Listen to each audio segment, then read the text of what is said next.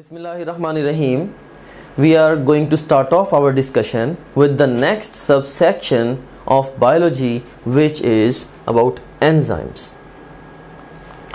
First of all, I would like to give you the big picture of enzymes इस particular subsection में सबसे पहले हम introduction to enzymes को discuss करेंगे and secondly we will talk about the structure of enzymes and thirdly we will talk about the mechanism of action of enzymes and fourthly we'll discuss the factors affecting the rate of enzyme action we will construct a table which would be explaining this particular area and then last of all we will be understanding different enzyme inhibitors by constructing a flow sheet ये हमारी आज की big picture है और through the same token of this big picture I would like to tell you कि exam के लिए कौन कौन से एरियाज़ ज़्यादा इंपॉर्टेंट है? तो इस बिग पिक्चर में जो स्ट्रक्चर ऑफ़ एंजाइम है you can say this is five star area from the examination point of view and secondly जो फैक्टर्स अफेक्टिंग एंजाइम एक्शन है, ये भी एक फाइव स्टार एरिया है from the examination point of view and then enzyme inhibitors ये भी एक five star area है या हाई यील्ड एरिया है from the examination point of view so हम इन सारे सेक्शंस को या सारे एरियाज़ को डिस्कस करेंगे लेकिन स्पेसिफिकली इन तीन एरियाज़ को हम एक्स्ट्रॉडनरली डिस्कस करेंगे। Now let start off our discussion with the introduction to enzymes first of all we have got definition by definition the enzymes are catalysts of biochemical reactions catalysts क्या करेंगे? ये biochemical reactions को speed up करेंगे। If I ask a question from you that what will happen if you don't have enzymes what do you think biochemical reactions continue रहेंगे या वो stop हो जाएँगे? And the answer to this question is biochemical reaction still process होते रहेंगे, लेकिन उनकी जो स्पीड होगी, वो इतनी स्लो होगी कि they would not be sufficient to sustain life तो इसीलिए हम ये कह सकते हैं कि enzymes they are essential for maintaining life and secondly now let's talk about the characteristics of enzymes rarely exam question आपको present कर सकता है कि which of the following is not a characteristic of enzyme right तो इस form में question को of course attempt करने के लिए आपको एंजाइम की जो बेसिक करेक्टरिस्टिक्स हैं उनका पता होना चाहिए so first of all enzymes they are globular proteins. Enzymes जो है, ये ग्लोबुलर प्रोटीन्स हैं। प्रोटीन्स के सब सेक्शन में हमने फाइबरस और ग्लोबुलर प्रोटीन्स को डिफ्रेंशिएट कराना भी सीखा था। बहरहाल जो एंजाइम्स हैं they are globular proteins and secondly enzymes are very specific in action लेकिन जो एंजाइम्स की स्पेसिफिसिटी है, ये रिलेटिव स्पेसिफिसिटी है एब्सलूट स्पेसिफिसिटी नहीं है। इस बात का मतलब ये है कि अगर फ़र्ज़ करें एक एंजाइम है लाइक ग्लाइकोलिसिस का एंजाइम है मे बी वो ग्लूकोज को प्रोसेस कर रहा है तो ये तो पॉसिबल है कि वो एंजाइम ग्लूकोज के साथ साथ फ्रुक्टोज को भी प्रोसेस करने की सलाहियत रखता हो। तो ये उसकी रिलेटिव स्पेसिफिसिटी है, लेकिन ऐसा कभी भी नहीं होगा कि ग्लाइकोलिसिस का जो एंजाइम है, वो प्रोटीन या लिपिड मेटाबॉलिज्म में कोई रोल प्ले कर रहा हो राइट सो ओवरऑल इसलिए हम कहते हैं कि enzymes are very specific in action.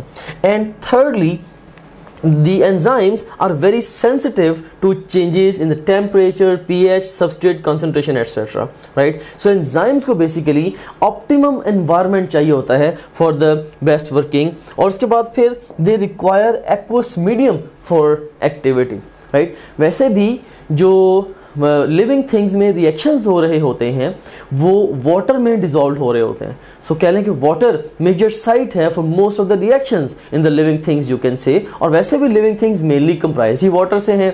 और इसका मतलब ये हुआ कि अगर उन रिएक्शंस को कैटालाइज करना है और उनको अगर स्पीड अप करना है तो उसके लिए एंजाइम्स को भी वाटर में सॉल्बल होना होगा। सो so, ये एंजाइम्स की एक अदर प्रॉपर्टी है they require aqueous medium for activity and then we have got the next property they increase the rate of reaction being without being used कि जो enzymes हैं ये ऑफ़ कोर्स रिएक्शन में part तो लेंगे लेकिन at the end of the reaction ये without being use ये ये आइसोलेट हो जाएँगे ये कंज्यूम नहीं होंगे and uh, then the next property here they do not affect the properties of end products end products enzymes के बगैर जिन प्रॉपर्टीज़ की हामिल होंगी। इवन एंजाइम्स के साथ भी अगर हम किसी रिएक्शन को प्रोसेस करेंगे स्टिल जो प्रोडक्ट्स होंगे उनकी properties they going to be same and then एक बड़ा इंपॉर्टेंट पॉइंट है एंजाइम की प्रॉपर्टीज़ के हवाले से they lower the activation energy by changing the pathway of biochemical reaction now the question is what is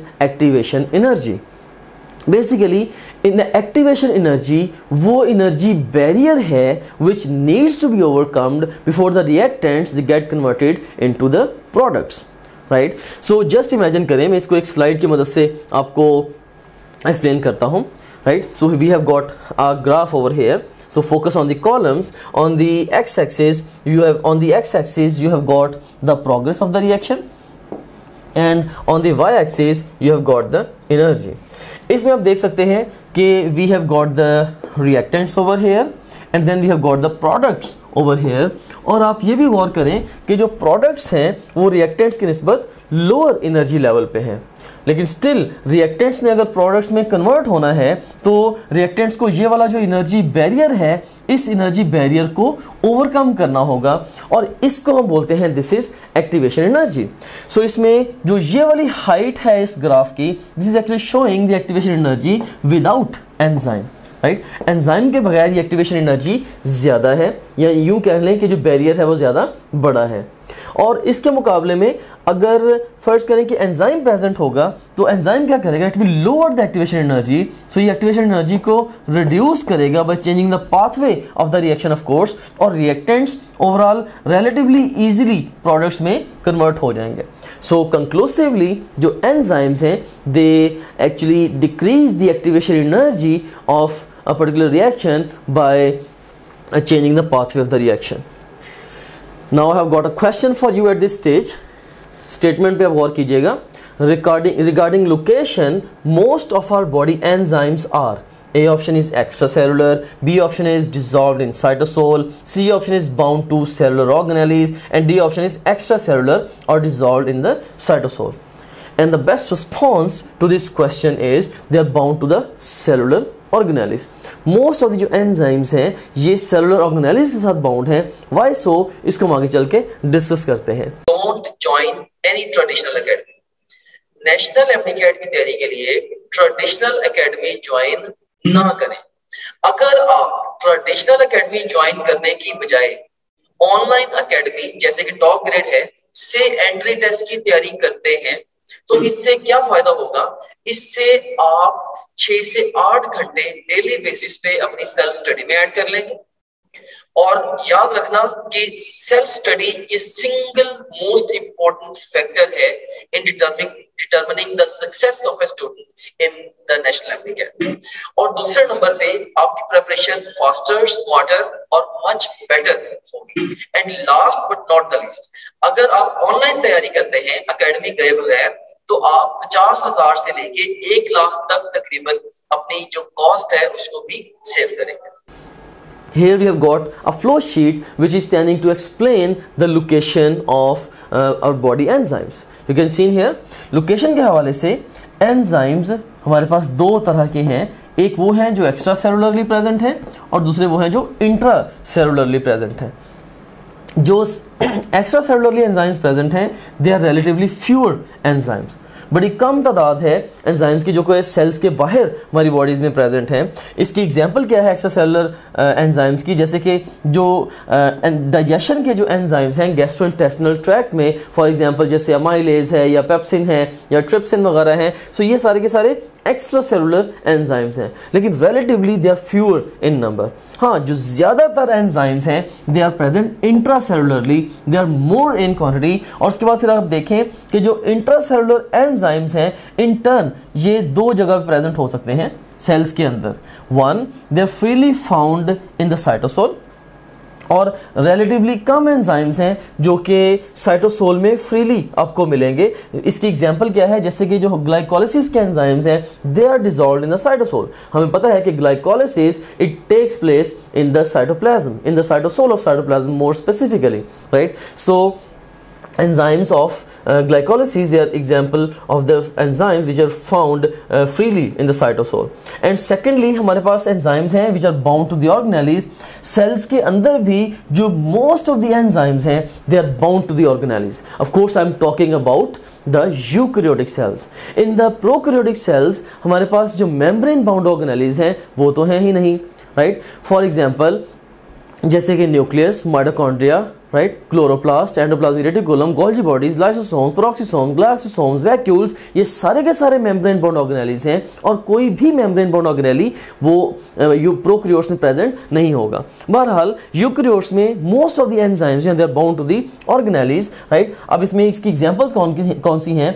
जैसे एंजाइम्स हैं cellular respiration के इन माइटोकॉन्ड्रिया अब वहाँ पे कौन कौन से एंजाइम है? Like enzymes of the Krebs cycle which are present in the mitochondrial matrix इसी तरह से enzymes of electron transport chain which are present which are actually present on the cytochromes right so वो क्या है? वो basically ऐसे enzymes हैं which are bound to the organelles so most of the enzymes जो हैं they are bound to the organelles in the eukaryotic cells what about the prokaryotic cells अब फ़र्ज़ करें कि अगर कोई एंजाइम है, जो कि यूक्रेटिक सेल में किसी ऑर्गेनली के साथ लिंक्ड है। लाइक like, अगर मैं कहता हूँ कि एंजाइम है इलेक्ट्रॉन ट्रांसपोर्ट चेन के एंजाइम्स हैं राइट वो लिंक्ड हैं with the mitochondria in the eukaryotes अब मैं आपसे अगर ये क्वेश्चन पूछूँ कि क्या ये वाले एंजाइम्स प्रोक्रियोट्स में हो सकते हैं? Yes और no and the best response to this question is yes उनमें भी एंजाइम प्रेजेंट हो सकते हैं। फॉर एग्ज़ाम्पल एरोबिक बैक्टीरिया में इलेक्ट्रॉन ट्रांसपोर्ट चेन के एंजाइम्स होंगे। लेकिन वो एंजाइम्स कभी भी ऑर्गेनेलिस के साथ एसोसिएटेड नहीं होंगे, बल्कि वो एंजाइम्स होंगे या तो dissolve in the cytoplasm otherwise they would be bound to the membrane right जैसे मे बी वो मेम्ब्रेन एसोसिएटेड होंगे, से सेल मेम्ब्रेन के साथ एसोसिएटेड हो सकते हैं। You have studied about the mesosomes as well so mesosome के साथ एसोसिएटेड हो सकते हैं। But they would never be bound to the they would never be associated with the membrane bound organelles in the prokaryotes anyways this was about the location of the enzymes so conclusively bottom line point मेरी discussion का ये है कि enzymes वो extracellularly भी present है और intracellularly भी लेकिन ज़्यादा intracellularly present है intracellularly enzymes cytosol में भी आपको मिलेंगे और वो ऑर्गेनालिज के साथ बाउंड फॉर्म में भी आपको मिलेंगे लेकिन ज़्यादा ऑर्गेनालिज के साथ बाउंड फॉर्म में आपको मिलेंगे Now let's move on to the next slide. Now and let's start off our discussion with the structure of enzymes. इससे पहले कि हम अपनी डिस्कशन को प्रोसीड करें with the structure of enzymes I would like to ask few questions from you इसमें हमारे पास डिफरेंट ऑप्शंस हैं लाइक ए ऑप्शन है cofactor B option is coenzyme C option is activator D option is prosthetic group E option is active site F option is binding site and G option is catalytic site and command क्या है जी? Choose the single best answer for each statement और पहली statement है हमारे पास non protein part of enzyme is called अब enzyme का जो non protein part है, इसको हम कोफैक्टर कहते हैं। एंड नेक्स्ट स्टेटमेंट है non detachable non protein part of enzyme is called अब यहाँ पे दो कंडीशंस हैं। पहली कंडीशन है नॉन डिटैचेबल और दूसरी कंडीशन है नॉन प्रोटीन नॉन डिटैचेबल भी और नॉन प्रोटीन भी, और ये डेफिनेशन है किसकी? प्रोस्थेटिक ग्रुप की।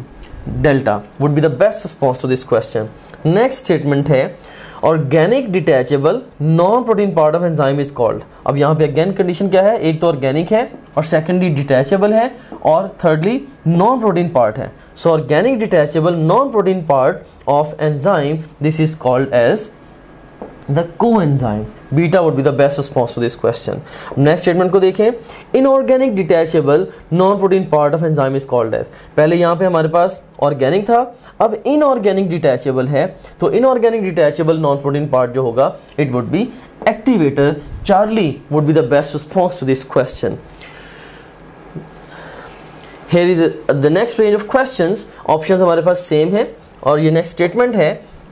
The site on enzyme responsible for recognition and binding of a proper substrate to product uh, to produce enzyme substrate complex is right so once again statement को दोबारा पढ़ें the site on enzyme responsible for recognition and binding of a proper substrate to product to, to produce the enzyme substrate complex is so basically ये जो site है this is the active site so E would be the best response to this question अब next statement है हमारे पास the enzyme and substrate react with each other through a definite charge bearing site of enzyme called as again इसके लिए भी जो best response होगा it has to be the active site rely on your own textbooks and topgrade.pk only. मैंने over last decade बेतहाशा successful और failing students के interviews किए हैं जो स्टूडेंट्स का most common cause of failure है, वो ये है कि वो स्कैटर्ड रिसोर्सेज यूज़ करते हैं। वो बहुत सारी जगहों से एट सेम टाइम तैयारी कर रहे होते हैं। सो so, ये उनको, उनका जो ओवरऑल फोकस है तैयारी के ऊपर, उसको ये चीज़ स्पॉइल कर देती है। हमने topgrade dot P K platform को आपके लिए इसीलिए बिल्ड किया है कि आपको अपनी टेक्स्ट बुक के अलावा और टॉपनेट के अलावा किसी भी और रिसोर्स को कंसल्ट करने तक की ज़रूरत ना हो। So rely on your own text books अब जिस भी प्रोविंस से है rely on your own text books and topgrade only क्योंकि आपकी अपनी टेक्स्ट बुक्स के अलावा जितना कुछ भी आपको चाहिए अपने इम्तिहान की तैयारी के लिए, वो ऑलरेडी इसमें टॉप ग्रेड में मौजूद है। और यहाँ भी मैं एक बात आपको बताना चाहूँगा कि लास्ट फोर फाइव इयर्स में 200 से ज़्यादा ब्रिलियंट टीम मेंबर्स ने इस प्रोजेक्ट के ऊपर काम किया है और इस प्रोजेक्ट को यहाँ तक हम लेके आए हैं कि हज़ारों स्टूडेंट्स अक्रॉस द कंट्री इससे बेनिफिट ले चुके हैं and is a flow sheet which is actually trying to explain the composition of enzyme so let's uh, discuss this flow sheet in detail so if you talk about an enzyme you seen here you talk about an enzyme so enzyme की composition में इसके दो तरह के parts हैं। एक है protein part और दूसरा है नॉन प्रोटीन पार्ट ये जो नॉन प्रोटीन पार्ट है, इसी को हम को फैक्टर भी कहते हैं। Non protein part of the enzyme और cofactor this is one and the same thing अब हम इसमें सबसे पहले प्रोटीन पार्ट को डिस्कस करते हैं। अब प्रोटीन पार्ट में कुछ amino acids you seen here few amino acids they make a sequence right where the substrate binds right कुछ अमाइनो एसिड्स ऐसा सीक्वेंस बनाते हैं, जहाँ पे आगे सबस्ट्रेट ने बाइंड करना है, उसको हम बोलते हैं this is the active site या सिंपल लैंग्वेज में हम इसको पॉकेट ऑफ़ एंजाइम भी कहते हैं, क्योंकि यहाँ पे आगे सबस्ट्रेट बाइंड करेगा। अब जो एक्टिव साइट है in turn this is comprise of two subsites इसमें एक है बाइंडिंग साइट और ये वो साइट है जहाँ पे आके सबस्ट्रेट ने बाइंड करना है। और दूसरी है कैटालिटिक साइट। ये वो साइट है जहाँ पे रिएक्शन एक्चुअली कैटालाइज होगा।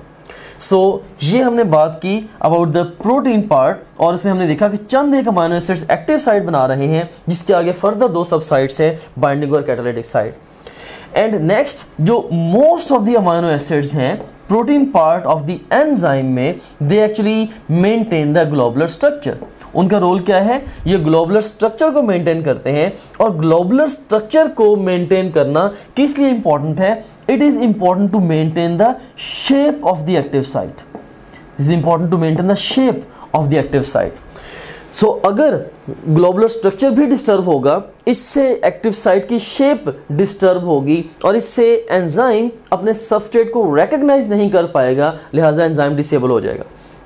So this is about the globular portion of the enzyme and now let's talk about the non protein part और the cofactor in the enzyme composition अब exam में यहाँ से क्वेश्चन किस वे में आ सकता है? लाइक like, वो आपसे पूछ सकते हैं कि which of the following statement is correct और incorrect regarding cofactor of an enzyme so आपकी बुक में ये तीन इंपॉर्टेंट पॉइंट्स क्लियरली मेंशनड हैं regarding the cofactors and I want you to memorise these three points इसमें सबसे पहला point हमारे पास क्या है? कि they are essential for enzyme activity if present right you can seen here कि अगर नॉन प्रोटीन पार्ट या को फैक्टर प्रेजेंट होगा तो उसके बगैर एंजाइम किसी काम का नहीं। लेकिन यहाँ से हमें यह भी पता चलता है कि रेयरली ये पॉसिबल है कि कुछ एंजाइम्स uh, ऐसे हों जिनका को फैक्टर ना हो। लेकिन most of the times rather you can say more than 99 percent of the times जो एंजाइम्स होते हैं नेचर में उनके को फैक्टर्स होते हैं। और अगर एंजाइम का को फैक्टर है तो अपने को फैक्टर के बगैर वो कोई भी रिएक्शन कैटलाइज नहीं कर सकता। और जो सेकेंड पॉइंट डिस्कस है वो है कि जो को uh, फैक्टर है it acts as a bridge between enzyme and substrate enzyme और सबस्ट्रेट के दरमियान ये ब्रिज का काम करता है और थर्ड नंबर पे sometimes so plus minus sign is indicating sometimes the non protein powder cofactor can also provide chemical energy for driving the reaction reaction को ड्राइव करने के लिए ये केमिकल एनर्जी भी प्रोवाइड कर सकता है। अब जो नॉन प्रोटीन पार्ट है, इसको हम फर्दर टू मेजर कैटेगरीज में डिवाइड करते हैं on the basis of whether it is detachable और नॉट अब अगर नॉन प्रोटीन पार्ट या को फैक्टर डिटैचेबल होगा तो फिर हम ये देखते हैं कि वो ऑर्गेनिक है या इनऑर्गेनिक है। अगर वो इनऑर्गेनिक होगा, हम उसको एक्टिवेटर कहेंगे। अगर वो ऑर्गेनिक होगा, हम उसको कोएंजाइम कहेंगे। और अगर वो सिरे से है ही नॉन डिटैचेबल तो फिर हम उसको प्रोस्थेटिक ग्रुप कहेंगे। Right right? सो so, इस तरह से हमने अब इस फ्लो शीट के ज़रिए डिफरेंट टर्मिनोलॉजीज को अंडरस्टैंड किया है। सो so, ये जो फ्लो uh, शीट वाली अप्रोच है एग्ज़ाम में अगर डिफरेंट टर्मिनोलॉजीज अपीयर होती हैं तो एग्ज़ाम में आपको इन टर्मिनोलॉजीज को आपस में डिफ्रेंशिएट करने के लिए एक्स्ट्रॉर्डनरली हेल्प करेगी। फॉर एग्ज़ाम्पल अब आप देख सकते हैं कि inorganic detachable non protein part of enzyme is called as activator इस तरह से organic detachable non protein part of enzyme is called as coenzyme इस तरह से non detachable non protein part of enzyme is called as prosthetic group right and similarly pocket of enzyme is the label given to the active site where does the substrate bind uh, to the enzyme इसका जो best response होगा वो binding site होगा अगर binding site list पे नहीं है तो मे बी फिर आप site ko को kar कर सकते हैं the site on the enzyme where the reaction is catalysed इसके लिए बेस्ट रिस्पॉन्स कैटालिटिक साइट होगा। लेकिन अगर कैटालिटिक साइट लिस्ट पे नहीं है अगेन देन आप इसके लिए भी एक्टिव साइट को पिक कर सकते हैं right and so on so this is a very vital and very high yield flow sheet आपकी बुक में जो इन्फॉर्मेशन सेवरल पैराग्राफ्स में डिस्कस्ड है in a confusing and confabulated way उसको मैंने एक फ्लो शीट की फॉर्म में ऑर्गेनाइज कर दिया है। And within few seconds you can actually identify the list is presented to you your exam right so जैसे भी मैंने कुछ पैटर्न क्वेश्चंस पूछे थे, अब अगर आप दोबारा फिर अपनी इस वीडियो को रिवर्स करके उन क्वेश्चंस को दोबारा अटेम्प्ट करते हैं, आप देखेंगे कि आप रिलेटिवली इजीली उन क्वेश्चंस को अटेम्प्ट कर पा रहे हैं। एंड नेक्स्ट हमारे पास एक क्वेश्चन है which of the following can provide activation energy for enzyme activity A option is heat B option is substrate C option is cofactor and D option is heat and cofactor तो इसमें हम अभी को factor के बारे में तो पढ़ के आए हैं कि sometimes it may provide energy for driving the reaction right अगर ऑलवेज नहीं भी करता तो समटाइम्स ये कर सकता है राइट right? और हीट डायरेक्टली है ही एनर्जी सो इसीलिए इस क्वेश्चन का जो बेस्ट रिस्पॉन्स होगा that would be heat and cofactor and now let's talk about another uh, small part of this particular area the composition of enzyme or structure of enzymes you can see in here we're going to talk about the two forms of enzymes depending upon cofactor अब cofactor की basis पे जो enzymes हैं इसकी two forms हैं इसमें एक है हमारे पास एपो एंजाइम और दूसरे नंबर पे हमारे पास क्या है holoenzyme an enzyme with cofactor removed अगर एंजाइम के साथ उसका कोफैक्टर रिमूव कर दें तो बाकी जो बचेगा that would be the apoenzyme and इसी तरह से अगर एंजाइम अपने उसको कोफैक्टर के साथ अब उसको कंसीडर करें so enzyme with cofactor attached इसको हम क्या बोलेंगे? This is the holo enzyme इसमें ये भी देखें कि जो एपो एंजाइम है ये नॉन फंक्शनल या इनएक्टिव होगा। जैसा कि हमने ऑलरेडी डिस्कस किया कि को फैक्टर के बगैर एंजाइम किसी काम का नहीं होता। और जबकि जो enzyme with its cofactor होगा ये फुली फंक्शनल या एक्टिवेटेड होगा। सो so, इसी बात को हम एक फ्लो शीट की मदद से भी देख लेते हैं। यू कैन सीन हेयर कि प्रोटीन पार्ट ऑफ़ एनजाइम इसके साथ को फैक्टर अटैच है या नहीं है। If it's without its cofactor it would be called as the apoenzyme which is non functional if the protein part of enzyme is along with its cofactor this is called as the holoenzyme which is the active form of the enzyme you can say now let's move on to the next slide इस computerise photograph में आप देख सकते हैं कि हमारे पास ये एक एपोएंजाइम है, और ये को फैक्टर है मे बी ये को फैक्टर ही की आगे काइंड है लाइक चूँकि ऑर्गेनिक है तो ये को एंजाइम है right so apoenzyme as well as cofactor they are collectively giving you this holoenzyme so ये पूरे का पूरा ये क्या है? This is the holoenzyme so simply enzyme along with its cofactor, holoenzyme, and enzyme without its cofactor is the apoenzyme so this is all about the structure of enzymes. Now let's start off our discussion with the mechanism of enzyme action.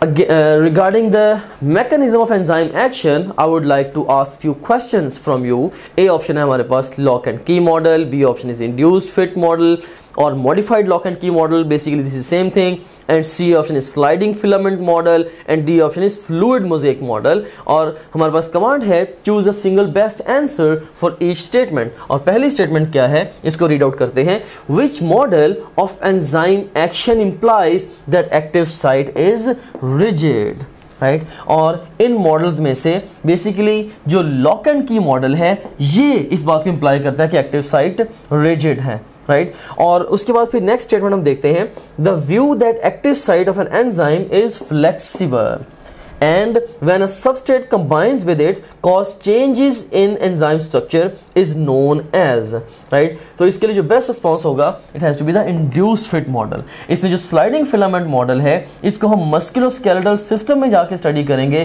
कि basically ये muscle contraction से related model है. So so, इसलिए ये भी answer नहीं है. और जो फ्लूड मोजेक मॉडल है, ये सेल मेम्ब्रेन के स्ट्रक्चर को एक्सप्लेन करने के लिए एक मॉडल प्रपोज है. सो so, ये भी हमारा आंसर पॉसिबल नहीं हो सकता for any statement right?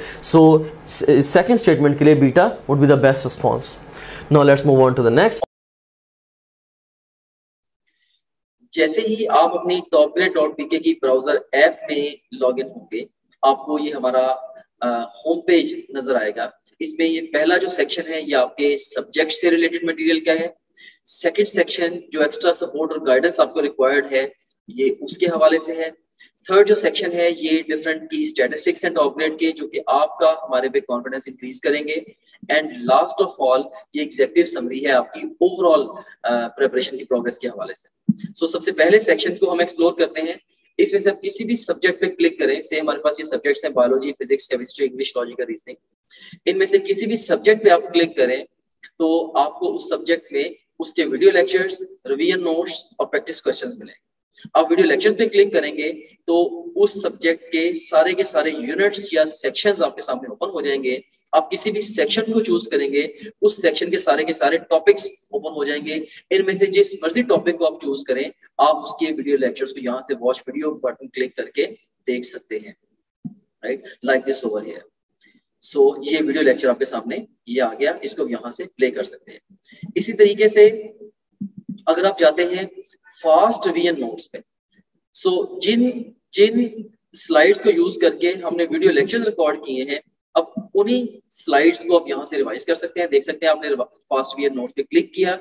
इसमें सारे के सारे सेक्शंस फिर ओपन हो गए। अच्छा यहाँ पे एक बार मैं आपको यहाँ बताना चाहता हूँ कि जो भी सेक्शन इंपॉर्टेंट है एग्ज़ाम के पॉइंट ऑफ़ व्यू से हमने उनके साथ इंपॉर्टेंट का टैग भी लगाया हुआ है keeping in you the previous exam trends anyways so यहाँ पे आप किसी भी सेक्शन को चूज़ करें से सेल स्ट्रक्चर एंड फ़ंक्शन को मैं चूज़ करता हूँ। तो इसके सारे के सारे टॉपिक्स ओपन हो गए। इनमें से किसी भी टॉपिक्स को टॉपिक को आप पिक करेंगे तो आप उसकी वो स्लाइड्स देख सकते हैं जिनसे उस टॉपिक का वीडियो लेक्चर रिकॉर्ड हुआ है। सो so, काफ़ी सारा टाइम जो है आपका वो सेव होगा। आपको लेक्चर नोट करने की ज़रूरत नहीं है। आपको बने बनाए नोट्स मिल रहे हैं for the fast revision rather super fast revision of the lectures उसके बाद हमारा जो मोस्ट इंपॉर्टेंट फीचर है या टीचिंग टूल है that is our question bank so अगर हम प्रैक्टिस क्वेश्चंस पे जाते हैं तो इसमें आप देखें कि आप डिफरेंट डिफरेंट तरीके से टेस्ट दे सकते हैं। सो so, आप जैसे मर्ज़ी माइंड में डिफाइन कर लें कि आपने किसी एक टॉपिक का टेस्ट देना है या एक चैप्टर का एक यूनिट का क्वार्टर सिलेबस का हाफ़ सिलेबस का फुल सिलेबस का जो मर्ज़ी सिलेबस आप डिफाइन कर लें उस डिफाइंड सिलेबस में से बीसियों तरीकों से आप टेस्ट दे सकते हैं। कैसे जैसे जो भी सिलेबस आपके माइंड में डिफाइंड है, आप चाहें तो उस सिलेबस के हमारे पास जो अवेलेबल ऑल क्वेश्चंस उनका टेस्ट दे सकते हैं, या जो आपने टॉपलेट डॉट बी पे आप प्रैक्टिस करते रहे हैं तो आप चाहते हैं कि आपने दोबारा may be second third time आप टेस्ट दे रहे हैं, आप चाहते हैं कि मेरे पास सिर्फ़ और सिर्फ़ उस सिलेबस के अनसीन क्वेश्चंस का टेस्ट आए, आप वो भी दे सकते हैं। इसके अलावा इनकरेक्ट क्वेश्चंस के टेस्ट देते हुए जो सवाल आपके गलत हुए थे, आप उन गलत सवालों का टेस्ट अलग से क्रिएट कर सकते हैं। से अगर आपने फिजिक्स के 20 टेस्ट दिए हैं, उनमें से आपका कोई मे बी आपके कोई 30 क्वेश्चंस रॉन्ग हुए थे, उन रॉन्ग 30 रॉन्ग क्वेश्चन का इकट्ठा टेस्ट भी आप क्रिएट कर सकते हैं।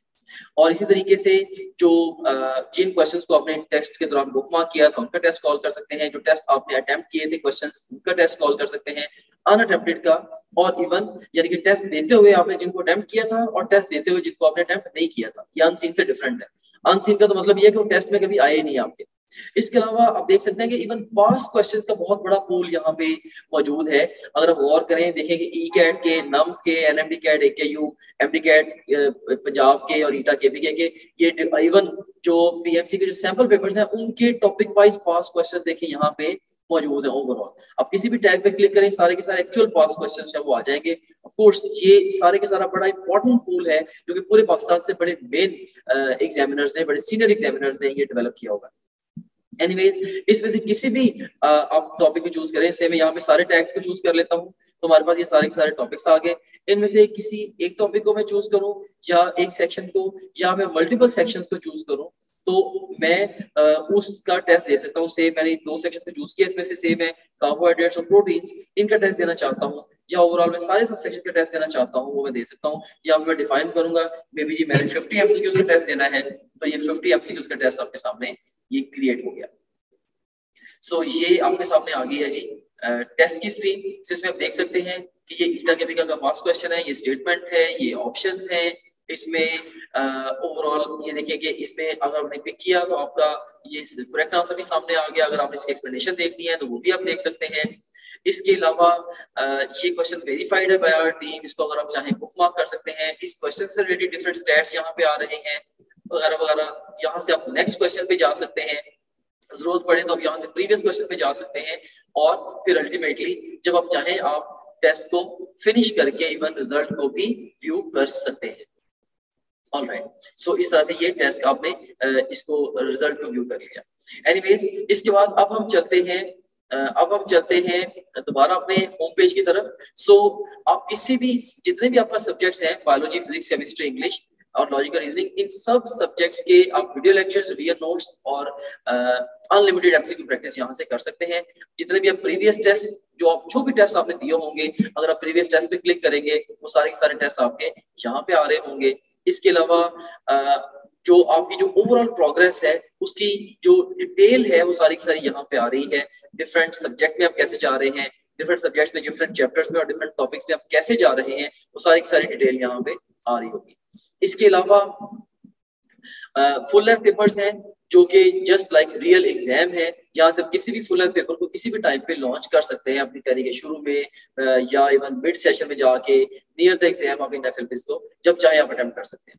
उसके बाद फिर सपोर्ट मटेरियल है, इसमें एक दो वीडियो रिव्यूज़ हैं डिफरेंट डिफरेंट जो स्टूडेंट्स हैं जिन्होंने टॉप से पढ़ा, वो आपको गाइड कर रहे हैं, हमारे सिस्टम के हवाले से भी ओवरऑल तैयारी के हवाले से भी आप उन बच्चों से गाइडेंस ले सकते हैं। इसके अलावा हमारे ये टेस्टिमोनियल्स हैं, जो पूरे पाकिस्तान में हज़ारों स्टूडेंट्स हमसे पढ़ रहे हैं, वो हमारे बारे में क्या कहते हैं उसकी डिटेल यहाँ पे आप देख सकते हैं। इसके अलावा सिलेबस यहाँ पे गिवन है। अगर आप कंटेंट देखना चाह रहे हैं हमारे कोर्स का, वो सारे के सारे यहाँ पे ओवरऑल जो है वो विजिबल है. And in addition to that study schedules बड़ा एक अहम फीचर है, अहम मॉड्यूल है. इसमें 90 डेज़ 60 डेज़ 30 डेज़ और इवन 50 डेज़ का एनएमटी कैट का स्केड्यूल मौजूद है. आप अपनी नीड के अकॉर्डिंगली जिस मर्ज़ी स्केड्यूल को फॉलो कर सकते हैं डिपेंडिंग अपॉन के आप टाइम फ्रेम में किस जगह पे खड़े हैं. अगर आप एग्ज़ाम आपका एक महीने के बाद एग्ज़ाम है ऑफ़ कोर्स आप 30 डेज़ वाला प्लान फॉलो करेंगे। अगर आपके एग्ज़ाम में दो हफ़्ते रहते हैं तो आप 15 दिन वाला प्लान फॉलो करेंगे एंड सो ऑन सो इसमें हमने आपको ये बताया है स्केड्यूल्स के अंदर ये गाइड किया है कि आपने गिवन टाइम को बेस्ट यूटिलाइज कैसे करना है। फिर इसके अलावा डाउनलोड्स का सेगमेंट है, जो भी डिफरेंट डिफरेंट इंपॉर्टेंट कंटेंट है आपसे रिलेटेड वो सारे के सारे आपको डाउनलोड्स में मिल जाता है। और इसके अलावा गाइडेंस वीडियोस काफ़ी सारी इसके अंदर पड़ी हुई हैं, जो कि मैंने खुद रिकॉर्ड करके इसके अंदर डाली हैं। इसमें बहुत सारे हवालों से जनरल गाइडेंस आप इन वीडियो से ले सकते हैं। सो so, ये था हमारे पास ये हमारे पास गाइडेंस वीडियोस का ये सेगमेंट था। Okay so so this was about top grade dot BK अब लास्ट में मैं आपको यही कह के अपने डिस्कशन को कंक्लूड करना चाहूँगा कि देर ना करें। अभी से टॉप ग्रेड को ज्वाइन करें और मेडिकल कॉलेज में अपना दाखिला यकीनी बनाएँ। That's all thank you very much may Allah bless you Allah Hafiz. Slide let's start off our discussion with the mechanism of enzyme action so इसमें सबसे पहले हम बेसिक इक्वेशन को डिस्कस करते हैं। You can seen here we have got this enzyme and we have got the substrate, right?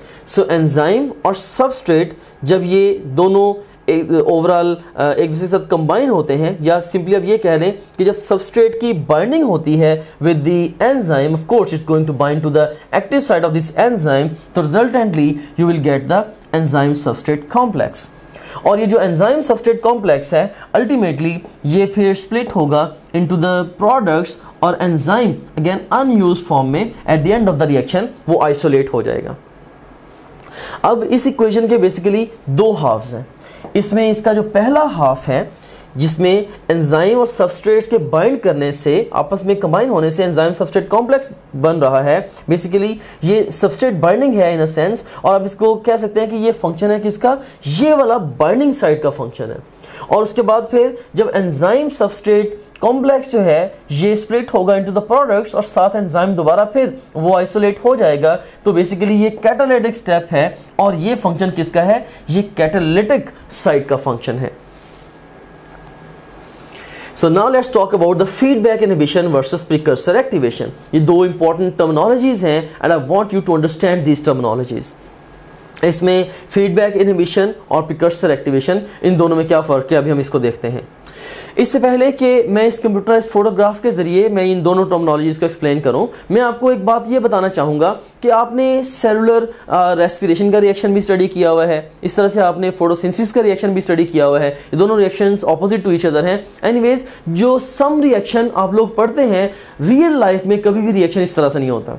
जो biology है या जो लिविंग थिंग्स हैं, उनमें ये जो रिएक्शंस हैं, हमेशा ये चेन रिएक्शंस होते हैं राइट फॉर एग्ज़ाम्पल जैसे कि आपने स्टडी किया, किस तरह से ग्लूकोज से मल्टी स्टेप प्रोसेस से पहले पायरुविक एसिड बनेगा if you are talking about the oxidation of glucose inside a eukaryotic cell aerobically right so पहले ग्लूकोज से पायरुविक एसिड बनेगा, फिर पायरुविक एसिड से एसिटाइल कोए बनेगा, फिर एसिटाइल कोए से मल्टी स्टेप ओवरऑल प्रोसेस होगा क्रैप साइकिल रन होगा, और उसके बाद फिर इलेक्ट्रॉन ट्रांसपोर्ट चेन सो आप देख सकते हैं कि वो जो बेसिक समरी रिएक्शन आपको दिखाया जाता है सेलुलर रेस्पिरेशन का, उसको अल्टीमेटली आप बहुत सारे स्टेप्स में उसको आप ब्रेक कर सकते हैं. सिमिलर आइडिया इवन फोटोसिंथेसिस का भी है और भी बहुत सारे बायोलॉजिकल रिएक्शंस का है।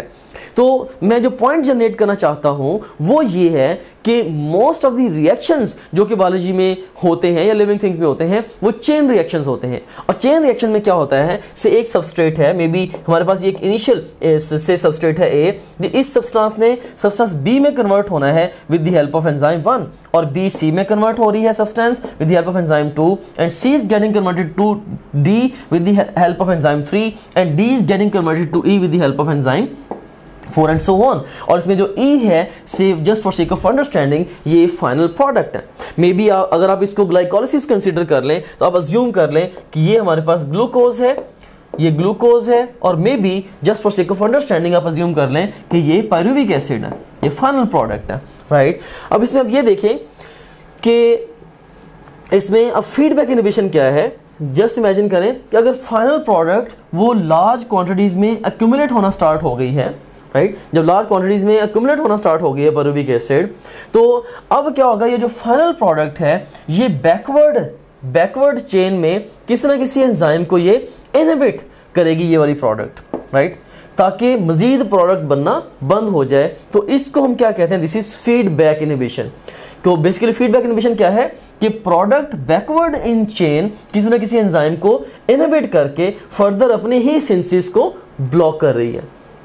दिस इज़ फीडबैक इनिबिशन और दूसरे नंबर पे अगर आप गौर करें तो हमारे पास है कि अगर इनिशियल सबस्ट्रेट से ग्लूकोज अगर एक्यूमुलेट होता है सेल के अंदर मे बी खाना खाने के दो घंटे के बाद जब ब्लड में ग्लूकोज के लेवल्स बहुत हाई होंगे इंसुलिन रिलीज़ होगा हार्मोन इंसुलिन ग्लूकोज को सेल्स के अंदर एंटर करेगा। अब ग्लूकोज ऑफकोर्स सेल के अंदर एक्यूमुलेट होना स्टार्ट हो गया है एंड नाउ वी वॉन्ट कि ग्लूकोज जो है वो ऑक्सीडाइज हो। राइट सो अब जो ग्लूकोज अकोमुलेट हुआ है ग्लूकोज क्या करेगा? वो फॉरवर्ड्स इन दिस चेन वो किसी ना किसी एंजाइम को क्या करेगा? वो स्टेमुलेट करेगा। और ये जो एक्टिवेशन है, इसको हम बोलते हैं this is the precursor activation so this is activation by the precursor so this is that's why this is the precursor activation so आप फीडबैक इनहिबिशन और प्रिकर्सर एक्टिवेशन को इनके नामों से ही याद रख सकते हैं। You can see in here feedback inhibition is feedback inhibition and precursor activation is activation by the precursor and you seen here कि इसको हम समझ भी करते हैं यहाँ पे। अगर फाइनल प्रोडक्ट हाई क्वांटिटी में बन गई है तो उससे फीडबैक इनिबिशन होगी और इनिशियल सबस्ट्रेट जो है वो फिर एक्यूमुलेट होना स्टार्ट हो जाएगा। राइट और inhibition of the enzyme by the product it will take place और कन्वर्सली अगर आप बात करें प्रिकर्सर एक्टिवेशन के हवाले से यू सीन हेयर कि हाई इनिशियल सबस्ट्रेट अगर एक्यूमुलेट होगा तो इसके ज़रिए प्रिकर्सर एक्टिवेशन होगी और जो फाइनल प्रोडक्ट है, ये अल्टीमेटली इंक्रीज होगी राइट और इसमें क्या हो रहा है कि activation of the enzyme is taking place with the help of a substrate so this is about the feedback inhibition and the precursor activation rarely exam में आपको कोई डेफिनेशन जनरेट करके पूछा जा सकता है कि ये डेफिनेशन फीडबैक इनिबिशन की है या ये प्रिकर्सर एक्टिवेशन की डेफिनेशन है। So I hope that you will be able to answer such sort of question after understanding these core concepts and now let's talk about the two models which are actually tending to explain the mechanism of enzyme action so इसमें जो पहला model proposed है regarding the enzyme action वो है lock and key model और lock and key model जो है ये एम एल फिशर ने प्रपोज किया था बाय द वे जो साइंटिस्ट के नेम हैं जनरली एंट्रेंस एग्ज़ाम में अपियर नहीं होते. लेकिन कुछ नेम्स ऐसे हैं जो कि मोर इंपॉर्टेंट हैं तो रेयरली वो अपियर हो भी सकते हैं. So M L Fischer this is one of them somehow this is important for for the exam generally ज़्यादातर साइंटिस्ट के नेम्स अपियर नहीं होते. बहरहाल। और ना ही आपकी बुक के अंदर जो डिफरेंट ईयर्स डिस्कस्ड हैं कि किस ईयर में किस साइंटिस्ट ने क्या किया ना ही इस तरह की इंफॉर्मेशन आती है। जो ज़्यादातर एम कैट का पेपर होता है वो कॉन्सेप्चुअल पेपर होता है। बहरहाल। सो so, इस लॉक एंड की मॉडल ने क्या प्रपोज किया? The active site is a rigid structure active site क्या है? रिजिड है। There is no modification of flexibility in the active site before during और after the enzyme action and it is use only as a template right so ये जना propose किया था lock and key model ने। Overall इसने Emil Fischer ने in the lock and key model according to M L Fischer basically जो आप कह सकते हैं कि बिल्कुल ऐसे ही जैसे एक लॉक के लिए जस्ट एक पर्टिकुलर की है। राइट? अगर एक ही कंपनी ने अगर डिफरेंट लॉक्स बनाए हैं तो हर लॉक के लिए वो सेपरेट की देता है। कभी भी ऐसा नहीं होता कि जैसे एक ही की से मल्टीपल लॉक्स जो ऑपरेट हो रहे हैं। राइट सो so, बिल्कुल ऐसे जैसे उनकी एग्जैक्ट कंपेटेबिलिटी है according to lock and key model propose by M Fischer इनकी भी एग्जैक्ट कंपेटेबिलिटी है एंजाइम और सबस्ट्रेट की। लेकिन रियल वर्ल्ड में अगर हम एंजाइम्स के एक्शंस को लिविंग थिंग्स के अंदर अगर ऑब्ज़र्व करें तो रियल वर्ल्ड में ओवरऑल हम इस बात के अगेंस्ट बहुत सारी एविडेंसेस हमें मिल सकती हैं। लाइक like, जैसे मैंने पहले भी डिस्कस किया से ग्लूकोज है so according to the lock and key model अगर एक ऐसा एंजाइम है जो कि ग्लूकोज को प्रोसेस कर रहा है it should never be able to process the fructose right according to lock and key model क्योंकि उसकी एक्टिव साइट रिजिड है वो एग्जैक्टली exactly डिजाइंड है फॉर द ग्लूकोज लेकिन रियल वर्ल्ड में अगर हम ऑब्ज़र्व करें तो बहुत सारे जो हेक्सोजिज हैं वो सेम एंजाइम हेक्सोकाइनेस से प्रोसेस हो भी रहे होते हैं राइट right? सो so, इसका मतलब ये हुआ कि लिटिल बिट चेंज जो है वो एक्टिव साइट में पॉसिबल है. सो so, इस बिना पे हम कहते हैं कि ये एक रिजेक्टेड मॉडल है. अब इसमें इसको फोटोग्राफ की मदद से भी एक्सप्लेन करते हैं। यू कैन सीन हेयर कि हमारे पास ये एंजाइम है, ये इसका ग्लोबुलर पोर्शन है और ये वाली इसकी एक्टिव साइट है। So this is the active site of the enzyme और ये हमारे पास सबस्ट्रेट है you can seen here this is the substrate and according to the lock and key model this substrate must have the exact compatibility with the active site of the enzyme जब तक इसकी, इसके साथ exact compatibility नहीं होगी substrate product में convert नहीं हो सकता। So this is the lock and key model and this is a rejected model as far as the reality और the real life is concern क्योंकि रियल लाइफ फाइंडिंग्स जो है, वो इस मॉडल से different है and now let's talk about the next model which is tending to explain the mechanism of enzyme action which is induced fit model जिसको हम modified lock and key model भी कहते हैं so ये basically modified lock and key model है don't confuse it with the lock and key model so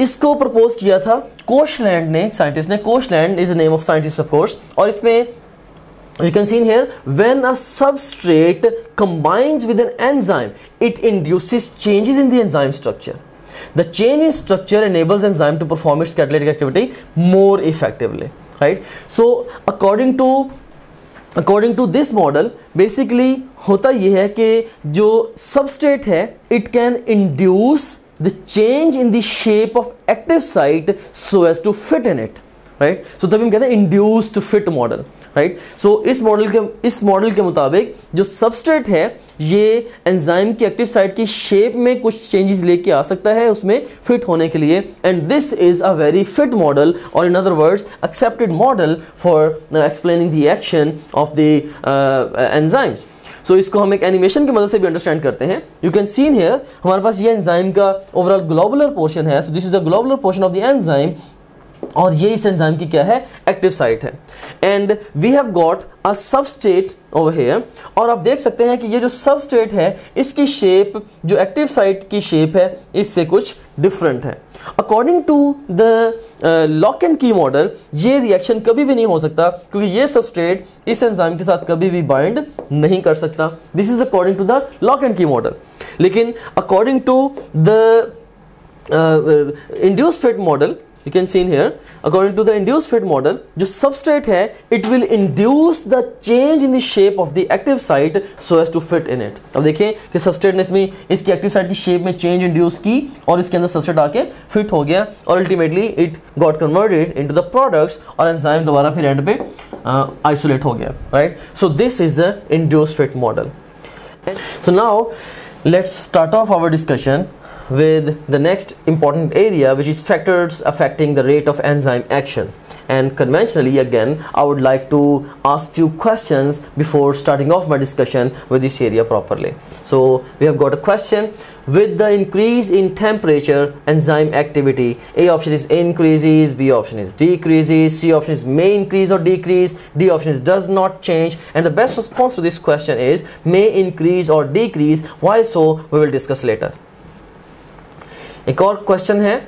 Extreme change in P H cause A option is ionization of enzyme B option is ionization of substrate C option is denaturation of enzyme and D option is freezing of enzyme तो यहाँ पे हमारा जो best response होगा that would be D denaturation of enzyme क्योंकि ये extreme change है। अगर ये माइनर चेंज होता तो मे बी ये एनजाइम या सबस्ट्रेट के आयनाइजेशन को चेंज करता। लेकिन इस स्टेटमेंट के लिए जो बेस्ट रिस्पॉन्स है दैट वुड बी चार्ली एक और क्वेश्चन है। All enzymes work best at basic P H except A option is chymotrypsin B option is catalase C option is pancreatic lipase and D option is salivary amylase and the best response to this question is delta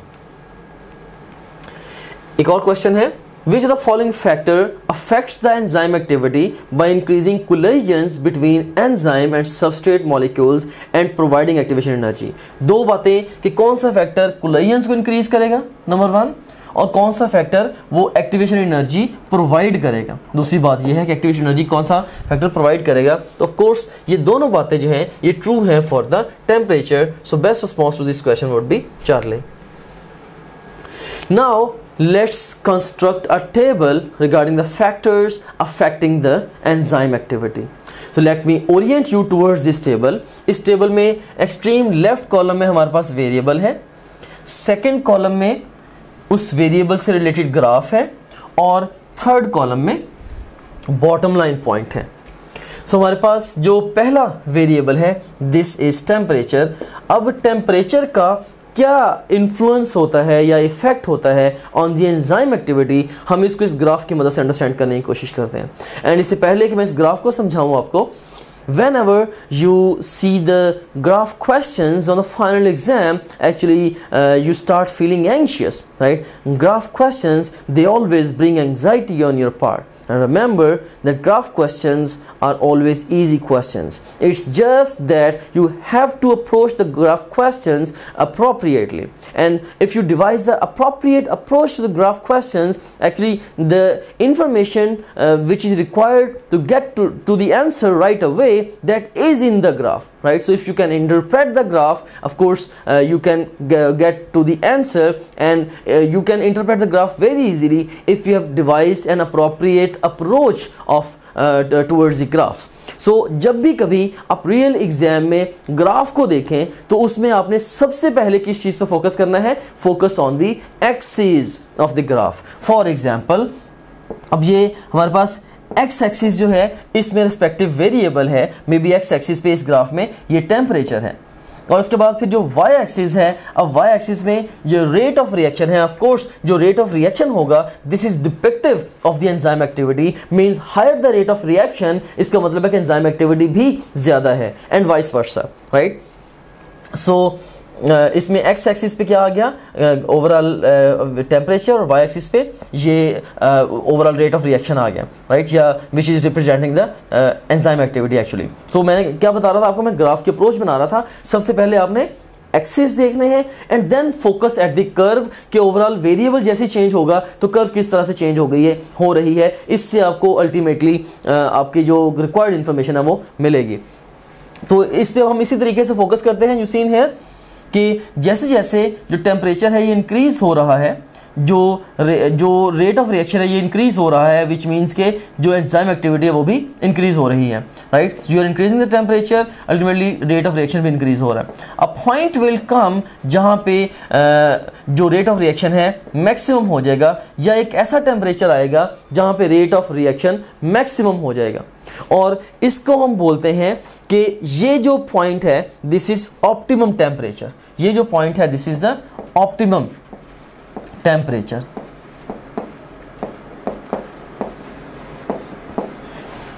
और अगर हम temperature को further increase करें beyond the optimum temperature तो इससे क्या होगा? इसको फर्दर इंक्रीज करने से ग्रेजुअली जो रेट ऑफ़ रिएक्शन है, वो फर्दर डिक्रीज हो रहा है विच मीन्स के एंजाइम एक्टिविटी डिक्रीज हो रही है। असल में होता क्या है? बेसिकली देखें कि ऑप्टिमम टेम्परेचर पे तो हमें समझ में आता है चलें एंजाइम बेस्ट वर्क कर रहा है। जब हम ऑप्टिमम टेम्परेचर से ओवरऑल टेम्परेचर को कम करेंगे तो क्या होगा? जो काइनेटिक एनर्जी मॉलिक्यूल्स की है, वो रिड्यूस होगी। जो क्लियंस हैं बिटवीन एंजाइम सबस्ट्रेट वो कम होंगे। इसलिए रेट ऑफ़ रिएक्शन कम होगा। और ultimately at extremely extremely low temperatures जो एंजाइम्स हैं, वो क्रिस्टलाइज भी हो सकते हैं। राइट एंजाइम्स क्रिस्टलाइज भी हो सकते हैं। सो क्रिस्टलाइज्ड फॉर्म में एंजाइम एक्टिव तो नहीं होंगे। हाँ ये डी नेचर भी अभी नहीं हुए। अगर इसको दोबारा ऑप्टिमम टेम्परेचर मरे में मिल जाए तो ये अपनी दोबारा फिर जो एक्टिविटी है उसको रिप्लेनिश कर लेगा।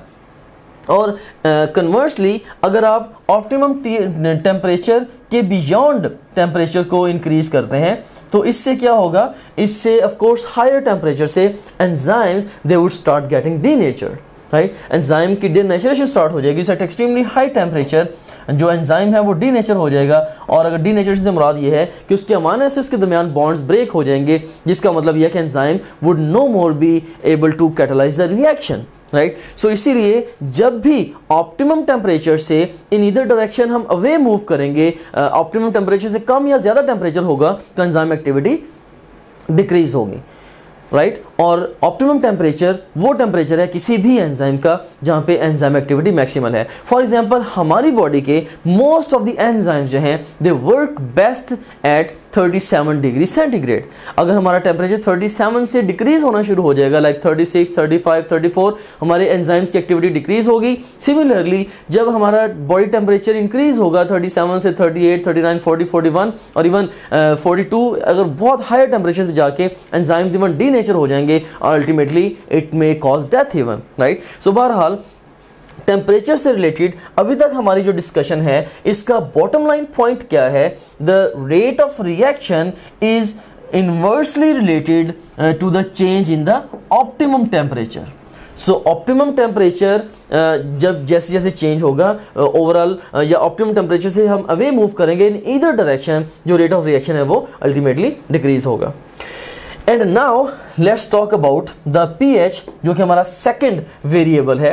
इसके लिए भी जो बेसिक आइडिया है, वो सेम है। Let me draw graph over here you just imagine करें कि यहाँ पे ज़ीरो पीएच है और जस्ट इमेजिन करें कि यहाँ पे फोर्टीन पी एच है। सो so, जो हमारा एक्स एक्सिस है this is basically the p H और maybe this is the seven p H और उसके बाद फिर ये जो वाई एक्सिस है अगेन वाई एक्सिस पे क्या है? रेट ऑफ़ द रिएक्शन है which is depictive of enzyme activity so इसमें हम देख सकते हैं कि ये दो डिफरेंट एंजाइम्स के लिए कर्व्स ड्रॉन है. मे बी ये एंजाइम वन है, और मे बी ये कुछ स्टमक का एंजाइम है मे बी ये एंजाइम टू है, और ये वाला जो एंजाइम है मे बी ये स्मॉल इंटेस्टाइन का एंजाइम है. तो इसमें आप देख सकते हैं कि ये वाला जो एंजाइम है this is working best right this is working best at grossly the three p H right so maybe stomach का एंजाइम है थ्री पी एच पे बेस्ट वर्क कर रहा है मे बी ये पेप्सिन है राइट right? सो so, अगर three P H पे ये बेस्ट वर्क कर रहा है तो ये जो थ्री है ये इसकी ऑप्टिमम पी एच है। अगर हम इससे वे इधर डायरेक्शन में ऑपोजिट ऑप्टिमम पी एच से मूव करेंगे इधर डायरेक्शन में मूव करेंगे इससे क्या होगा? सबस्ट्रेट एंड और एंजाइम राइट right? दोनों की जो आयोनाइजेशन है वो चेंज होगी और इससे रेट ऑफ़ रिएक्शन डिक्रीज होगा। हाँ ये है माइनर चेंजेस अगर एक्सट्रीम एक्सट्रीम चेंजेस आए पीएच के अंदर, अगर एक्सट्रीम लेवल की चेंजेस आए तो extreme level changes in the pH they would actually cause the denaturation of the enzyme which is the bond breakage of course और इसके बरक्स आप देखें एंजाइम नंबर टू जो है एंजाइम टू, ये ग्रॉसली तकरीबन जो 9 पीएच है 9 पीएच पे ये बेस्ट वर्क कर रहा है। So nine is the optimum pH for enzyme two basically ये स्मॉल इंटेस्टेंट का एंजाइम है। मे बी ये पेंक्रियाटिक लाइपेज है। राइट ये पेंक्रियाटिक अमाइलेज है। तो ये स्मॉल इंटेस्टाइन का एंजाइम है सो अगर हम इसकी ऑप्टिमम पीएच से अवे मूव करेंगे इन द इधर डायरेक्शन तो जो रेट ऑफ़ रिएक्शन है अगेन वो डिक्रीज होगा because of change in ionization और अगेन अगर हम इस ऑप्टिमम पीएच में यानी कि नाइन से अगर हम एक्सट्रीम लेवल पे चेंजेस लेके आएँगे तो maybe enzyme denature भी हो जाएगा. सो so, हमारा जो कंक्लूसिव पॉइंट है यहाँ पे वो क्या बना? कि जो रिएक्शन रेट है this is inversely related to change in the optimum pH अब यहाँ पे इससे पहले कि मैं नेक्स्ट वेरिएबल को डिस्कस करूँ, यहाँ पे मैं कुछ इंपॉर्टेंट जनरलाइजेशन आपसे देना चाहता हूँ, लेकिन उन जनरलाइजेशन से भी पहले मैं आपसे क्वेश्चन पूछता हूँ। What do you think most of the enzymes of our body work best at A option is highly alkaline pH B option is slightly alkaline pH C option is neutral pH and D option is a highly acidic pH and E option is maybe a highly uh, uh, and slightly acidic pH. And the best response to this question is if you're thinking neutral, you're thinking on the wrong lines because most of the enzymes of our body they work best at slightly alkaline pH. हमें पता है कि हमारे intracellular fluid की और even extra cellular fluid की जो pH है वो 7.35 टू 7.45 की रेंज में है which is slightly basic.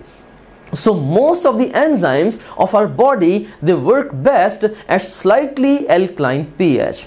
हाँ कुछ एक्सेप्शंस एग्जिस्ट करती हैं for example enzymes of stomach and enzymes of lysosomes जिनको हमने सेल में डिस्कस किया था सेल के सेक्शन के अंदर डिस्कस किया था तो बेसिकली वहाँ पे एसिड हाइड्रोलेसिस थे so enzymes of stomach and the acid hydrolases of the lysosomes they work best at the acidic pH और इसी तरह से जो एंजाइम्स हैं, हमारी स्मॉल इंटेस्टिन के अंदर जो एंजाइम्स हैं they work best at the highly basic pH right and otherwise जो मोस्ट ऑफ़ द एंजाइम्स हैं हमारी बॉडी के they work best at slightly alkaline pH anyways so ये जो जनरलाइजेशन हैं अगर आपको किसी एंजाइम की पीएच एग्जैक्टली याद नहीं है तो स्टिल ये जो जनरलाइजेशन हैं ये आपको क्वेश्चन uh, को अटेम्प्ट करने में हेल्प आउट कर सकती हैं। Now let's talk about the next variable तो इसमें नेक्स्ट uh, वेरिएबल को हम डिस्कस करते हैं यू सीन है अब हमारे पास वेरिएबल क्या है? कंसेंट्रेशन ऑफ़ एंजाइम और सबस्ट्रेट क्या है? सबस्ट्रेट अनलिमिटेड है ठीक है? सो so, यानी कि हमें पता ये चला कि हमारे एक्स एक्सिस पे क्या है? एंजाइम की कंसंट्रेशन है। ये एंजाइम की एक्टिविटी नहीं है, बल्कि एंजाइम की कंसंट्रेशन है।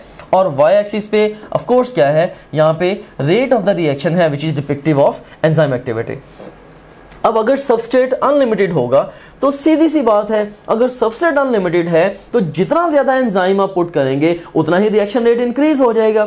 So this is very simple fact so जैसे जैसे आप एंजाइम कंसेंट्रेशन को इंक्रीज करते जाएँगे, जो रेट ऑफ़ रिएक्शन है, वो बढ़ता जाएगा, और क्यों बढ़ेगा? ऑफकोर्स क्योंकि एंजाइम की जो एक्टिविटी है, वो इंक्रीज हो रही है। So you can say that reaction rate is directly proportional to the enzyme concentration this is very simple and now, let's talk about the next little bit confusing scenario. And you seen here, अब हमारे पास जो variable है this is concentration of enzyme और यहाँ पे substrate क्या है? लिमिटेड है। देखिए, अब वेरिएबल अब भी कॉन्सेंट्रेशन ऑफ़ एंजाइम ही है।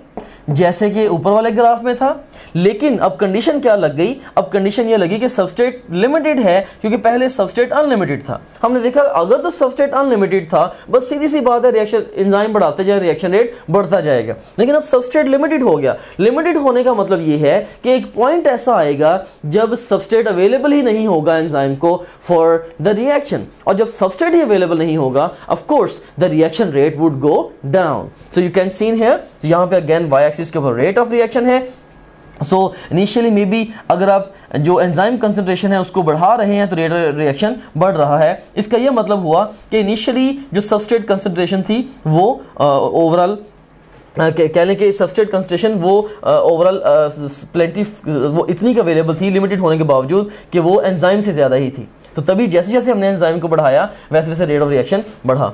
लेकिन एक पॉइंट ऐसा आया, जब एंजाइम जब एंजाइम को मजीद सबस्ट्रेट अब अवेलेबल नहीं है या रिलेटिवली लेसर सबस्ट्रेट अवेलेबल है तो वहाँ से अब क्या होगा? Reaction rate would gradually start going down right so हम बचपन में एक नज़म पढ़ा करते थे।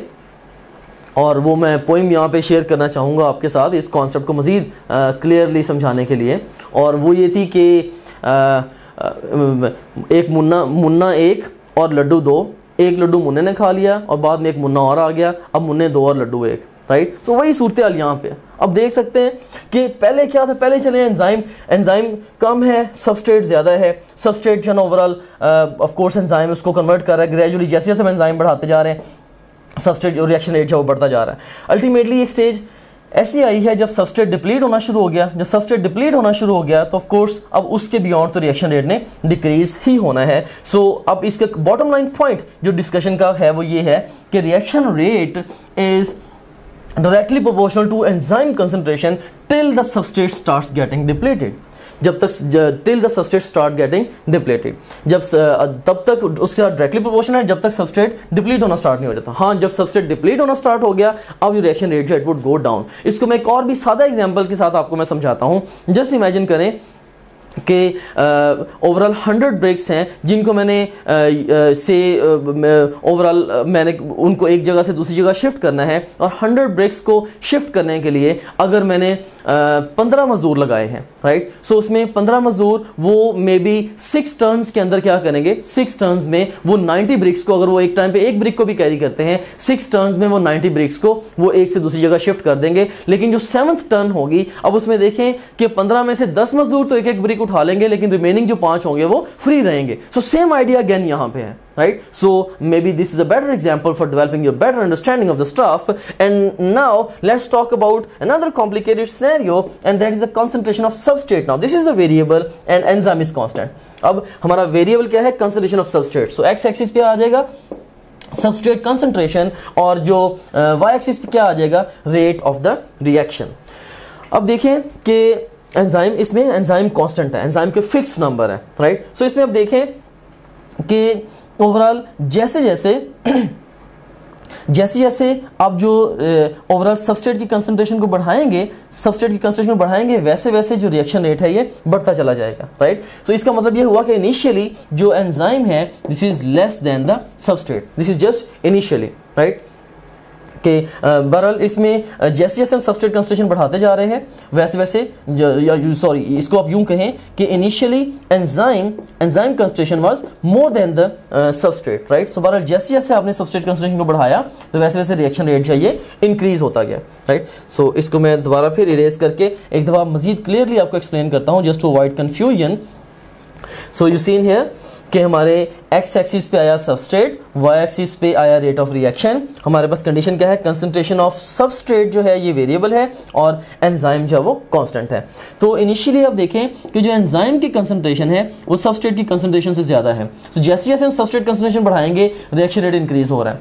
एक पॉइंट ऐसा आया, जब सारे के सारे एंजाइम्स कंटिन्यूसली बिज़ी हो गए in converting the reactants into the products यानी कि सारी की सारी एक्टिव साइट्स जो है वो फिल हो गई। अब इस स्टेज पे क्या ख्याल है रिएक्शन स्टॉप हो जाएगा या वो कंटिन्यू रहेगा? And the best response to this question is reaction will continue but at a constant pace reaction जो है वो at a constant pace continue रहेगा। वंस अगेन अब जस्ट इमेजिन करें कि 100 ब्रिक्स हैं। 100 ब्रिक्स को मैंने एक से दूसरी जगह शिफ्ट करने के लिए मे बी अगर एक मजदूर को लगाया है तो वो रिलेटिवली लोअर पेस पे वो आ, उनको एक से दूसरी जगह शिफ्ट करेगा। और उसके बाद फिर अगर फ़र्ज़ करें कि मेरे पास मजदूर पाँच हैं तो भले मैं ब्रिक्स जैसे जैसे ब्रिक्स को बढ़ाता जाऊँगा अगर मजदूर पाँच हैं तो हंड्रेड ब्रिक्स हों या टू हंड्रेड ब्रिक्स हों या वन मिलियन ब्रिक्स हों अगर मजदूर पाँच हैं तो वो एक टाइम पर अगर एक मजदूर एक ब्रिक को कैरी करता है तो एक टाइम पर मैक्सिमम वो पाँच ब्रिक्स ही को कैरी कर सकते हैं। सेम आइडिया यहाँ पे है। कि सबस्टेंट मॉलिक्यूल्स की तादाद जितनी मर्ज़ी हो, अगर एंजाइम मॉलिक्यूल्स की तादाद फिक्स है तो जब हम सबस्ट्रेट को सबस्ट्रेट लेवल्स को इंक्रीज करेंगे तो अल्टीमेटली कांस्टेंट पेस पे रिएक्शन चलता जाएगा। ये प्रोपोर्शनेटली सबस्ट्रेट की कंसंट्रेशन के साथ इंक्रीज नहीं करेगा। So bottom line point of my discussion is the reaction rate in this scenario this is directly proportional to the substrate concentration till all the active sites of the, all the enzyme molecules they are filled. And once uh, all the active sites are full then the reaction will continue at a constant pace. So this is about the factors affecting the enzyme activity इसमें कुछ तो pattern questions मैंने start में आपसे पूछे भी थे और आई होप के अब अगर आप वीडियो को रिवाइंड करके दोबारा आप उन क्वेश्चंस को अटैम्प्ट करें, आप रिलेटिवली इजीली इन क्वेश्चंस को अटैम्प्ट कर पाएँगे। लेकिन इसमें कई दफ़ा डिफ़िकल्ट सिनेरियोज भी जनरेट हो सकते हैं रियल एग्ज़ाम में। लाइक like एग्ज़ाम आपको ये कह सकता है कि ओवरऑल से आपको एग्ज़ाम ग्राफ प्रेजेंट कर सकता है राइट एक ग्राफ प्रेजेंट करके डिफरेंट स्टेटमेंट्स दे सकता है कि इस ग्राफ से क्या इंटरप्रिटेशन आप निकाल रहे हैं राइट कि with this graph you can interpret that construction of enzyme is limited और construction of enzyme is unlimited और सबस्टेट इज़ लिमिटेड और substrate is unlimited and so on but graph के इंटरप्रिटेशन के क्वेश्चन भी कई दफ़ा आ जाते हैं। या इसी तरह से कई दफ़ा डिस्क्रिप्शन दे के एग्ज़ाम क्या करेगा? एग्ज़ाम को डिस्क्रिप्शन दे देगा। डिस्क्रिप्शन दे के आपको मल्टीपल ग्राफ्स दे देगा। मे बी ए ऑप्शन में एक ग्राफ है बी ऑप्शन में दूसरा ग्राफ ग्राफ है सी ऑप्शन में तीसरा ग्राफ है। एग्ज़ाम आपसे कहेगा कि if the concentration of enzyme is variable and substrate is unlimited which of the following graph would best represent the rate of the enzyme action right so of course इसके लिए आप क्या करेंगे? इसके लिए आप ए को पिक करेंगे एंड सो वन सो अगर आपने इन कॉन्सेप्ट्स को, इन ग्राफ को प्रॉपरली अंडरस्टैंड कर लिया है तो इस तरह के क्वेश्चंस को भी आंसर करना एग्ज़ाम में आपके लिए बिल्कुल भी मुश्किल नहीं होगा। And now let's move on to question statement है हमारे पास optimum pH value for working of the pancreatic lipase is A option is 4.50 B option is 7.60 C option is 2.0 D option is 9 and best response to this question is delta 9 वैसे भी हमने generalisation से भी discuss किया है कि pancreatic lipase ये small intestine का एंजाइम है they work best at the highly alkaline pH और ये एक टेबल है, ये वेरी हाई टेबल है। हर साल रियल एग्ज़ाम में एम डी कैट के एग्ज़ाम में एक आध क्वेश्चन इस टेबल से अपियर होता है। So I want you to memorize the values given in this table right ये आपकी टेक्स्ट बुक ही का टेबल है। You can seen here this table actually is summarizing the optimum pH values for the few enzymes तो इसमें left column में enzyme है और राइट right कॉलम में उसके ऑप्टिमम पीएच है। जैसे कि आप देख सकते हैं कि पेप्सिन की जो पीएच है दैट इज़ 2.0 और सुक्रेज की 4.50 एंटेरोकाइनेस की 5.50 स्लाइवरेमाइलेज की 6.80 कैटालेज की 7.60 और कार्बोट्रेप्सिन की 7 टू 8 की रेंज में है। पैंक्रेटिक लाइपेज की 9 है और आर्जिनेज की 9.70 है। सो अगर एग्ज़ाम आपसे ये क्वेश्चन पूछता है कि इनमें से कौन सा एंजाइम हाईली या, मोस्ट एल्कलाइन पीएच पे बेस्ट वर्क करेगा तो इसके लिए हाईएस्ट पीएच किस एंजाइम के ऑप्टिमम वर्किंग के लिए रिक्वायर्ड है maybe the answer would be arginase right so exam exam आपसे इस तरह से भी क्वेश्चन पूछ सकता है कि वो डिफरेंट अरेंज डिफरेंट अरेंजमेंट्स में ऑप्शंस में इन एंजाइम्स को प्रेजेंट कर सकता है और आपके ये पूछ सकता है कि कौन सी अरेंजमेंट में ऐसे, या कौन से ऑप्शन में ऐसे एंजाइम्स हैं जो कि एसिडिक पीएच पे या अल्कलाइन पीएच पे बेस्ट वर्क कर रहे हैं and so on right so अगर आपने इन वैल्यूज़ को मेमोराइज किया होगा तो डायरेक्ट वैल्यूज़ पूछी जाएँ या इन वैल्यूज़ की इंटरप्रिटेशन से क्वेश्चन पूछे जाएँ, आप बड़ी आसानी से इन क्वेश्चन को आंसर कर पाएँगे। और उसके बाद हमारा जो लास्ट एरिया ऑफ़ डिस्कशन है that is the enzymes inhibitors या सादा लफ्जों में inhibitors of the enzyme activity so again I would like to start off with few question and हमारे पास पहले ऑप्शन हैं. A option is comparative inhibitor B option is irreversible inhibitor C option is non comparative inhibitor and D option is reversible inhibitor और हमारे पास command क्या है? Choose the single best answer for each statement और पहली statement है which of the following decreases the reaction rate by occupying the active site और destroying the globular structure इसमें दो चीज़ें हैं, दो कंडीशंस हैं. Which the following decreases the reaction rate by occupying the active site. एक condition and और destroying the globular structure कि वो या तो एक्टिव साइट को ऑक्यूपाई करके एंजाइम को रिएक्शन uh, रेट को डिक्रीज करे या वो ग्लोबुलर स्ट्रक्चर को डिस्ट्रॉय करे जिससे एक्टिव साइट डिस्टर्ब हो और जिससे रिएक्शन रेट डिक्रीज हो। तो ये जो फीचर ऑफ़ कोर्स कंपेरेटिव जो है it would bind only to the active site ये सिर्फ़ एक्टिव साइट के साथ बाइंड करेगा तो इसलिए ये इसका क्वालिफाइंग ऑप्शन नहीं हो सकता। इस तरह से irreversible inhibitor yes irreversible inhibitor जो है, ये एक्टिव साइट या ग्लोबुलर पोर्शन दोनों पे जा सकता है सो ये एक पॉसिबल आंसर हो सकता है। इसको हम भी कंसिडर कर सकते हैं। फिर non comparative inhibitor it would never go to the active site क्योंकि नाम से ज़ाहिर है दिस इज़ नॉन कंपेरेटिव तो ये भी आंसर नहीं हो सकता। और reversible inhibitor overall reversible inhibitor जो है, ये भी डिस्ट्रॉय नहीं करेगा इसके ग्लोबल स्ट्रक्चर को। तो ये भी आंसर नहीं हो सकता। So best response to this question by the exclusion criteria one this is the irreversible inhibitor and now we have got another statement which are the following form weak linkage with the enzyme at site other than the active site ठीक है, कि active site के अलावा weak linkage कौन सा बनाएगा? Of course अगर active site पे वीक लिंकेज बनता तो वो कंपैरेटिव इनहिबिटर होता। नाम से ज़ाहिर है comparative would compete for the active site जबकि जो अगर ये एक्टिव साइट के अलावा दूसरी जगह पे रिवर्सिबल दूसरी जगह पे ये रिवर्सिबली अगर ये बाउंड कर रहा है मतलब कि वीक लिंकेज बना रहा है तो it has to be the it has to be the non comparative inhibitor जो कि अगेन जो कि एक रिवर्सिबल इनहिबिटर है। सो नेक्स्ट क्वेश्चन है In case of succinic dehydrogenase enzyme, malonic acid और मेलोनेट is. अब सक्सेनिक डिहाइड्रोजिनस एंजाइम के केस में जो मेलोनिक एसिड या मेलोनेट है basically this is a comparative inhibitor इसको आगे चलकर डिटेल से डिस्कस भी करते हैं। और नेक्स्ट स्टेटमेंट है the effect of which enzyme inhibitor can be neutralized by using the substrate concentration of course जब भी हम सबस्ट्रेट कंसंट्रेशन को इंक्रीज करके किसी एंजाइम इनहिबिटर के एक्शन को रिवर्स कर सकते हैं तो इसको हम बोलते हैं दिस इज़ ऐसा इनहिबिटर जो होगा this would be the of course reversible inhibitor so delta would be the best response to this question now let's move on to the next question statement हमारे पास irreversible inhibitors may inhibit enzyme activity by A option is forming covalent bond yes this is possible covalent bond formation के ज़रिए वो इसको बिल्कुल enzyme को enzyme की activity को inhibit कर सकता है। ब्लॉकिंग फिजिकली यस वो एंजाइम और सबस्ट्रेट के दरमियान फिजिकली आके उन दोनों के इंटरेक्शन को रोक के उसको ब्लॉक कर सकता है। And thirdly destroying the globular structure तो ऑफ़ कोर्स इरिवर्सिबल इनहिबिटर वो ग्लोबुलर स्ट्रक्चर को डिस्ट्रॉय करके अल्टीमेटली जो एक्टिव साइट की शेप को डिस्टॉर्ट करेगा, जिससे अगेन वो एंजाइम की एक्टिविटी को इनहिबिट कर देगा। सो so इसका बेस्ट रिस्पॉन्स जो होगा that would be delta all of this So now let's construct a flow sheet regarding the inhibitors. So this is a very simple flow sheet and it will enable you to answer all the pattern questions जो कि possibly आपको exam में पूछे जा सकते हैं। So very very simple concept over है so इसमें अब देखेंगे इनहिबिटर्स की कुछ बेसिक प्रॉपर्टीज़ हैं। सबसे पहली बात प्रॉपर्टी क्या है? कि inhibitors they react with the enzyme they react with the enzyme just like the substrates do they also react with the enzyme right लेकिन ये तो बात ऐसी ही है जैसे सबस्ट्रेट्स के बारे में है। सो so, इसमें, लेकिन डिफरेंट क्या है कि जब सबस्ट्रेट रियल सबस्ट्रेट जब एंजाइम के साथ बाइंड करेगा तो सबस्टेट कन्वर्ट होगा इनटू प्रोडक्ट्स लेकिन ये जो इनहिबिटर है, ये प्रोडक्ट्स में कन्वर्ट नहीं होगा. और उसके बाद फिर नेक्स्ट आप देखें कि अगर प्रोडक्ट्स में कन्वर्ट नहीं होगा तो फिर ये क्या करेगा? Ultimately it would block the active site अब क्वेश्चन ये है कि इनहिबिटर जो भी है, जो कि एंजाइम के साथ बाइंड किया है, जिसने एंजाइम के साथ रिएक्ट किया है, वो एक्टिव साइट को परमानेंटली ब्लॉक करता है या टेम्परेली ब्लॉक करता है? अगर वो एक्टिव साइट को परमानेंटली ब्लॉक करेगा, हम उसको इरिवर्सिबल इनहिबिटर बोलेंगे. अगर उसको वो टेम्परेली ब्लॉक करेगा, हम उसको रिवर्सिबल इनहिबिटर बोलेंगे.